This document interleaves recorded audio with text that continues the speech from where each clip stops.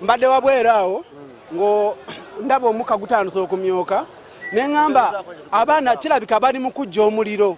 Nenziruka sipiidi nga kibadde kituufu abaana nga batandise okuva eri kudda wali ku geeti kati nempakinga piki mukubo wali?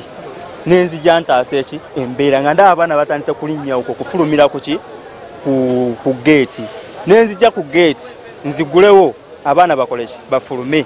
Naye nkulaga oba musomesa oba ani gwe sitategedde aŋŋaanye. Ne mubuuza lwaki ogaana tuyingire tutaase abaana? Mbwe emotoka zijja kukola ki? Kubatume. Ne muga oyagala bafe guno omukka. Bayanguye mangu okuŋŋamba mbu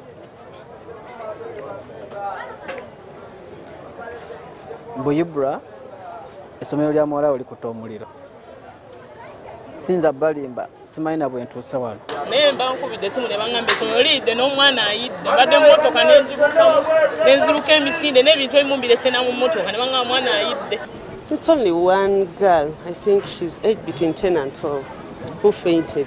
But I think it was neurogenic shock because she didn't see the sister.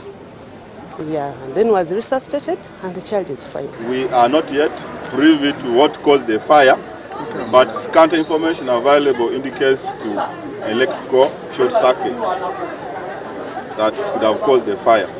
But of course, we are not going to rely on that as of now. We are going to continue to look into uh, the scene